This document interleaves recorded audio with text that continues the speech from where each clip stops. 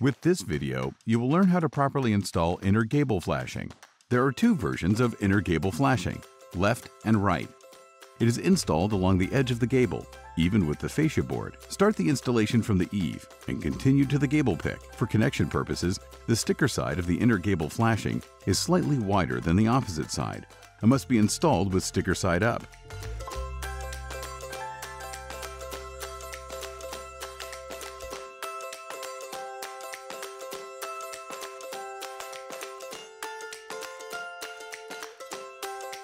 Overlap inner gable flashings accordingly to the building codes.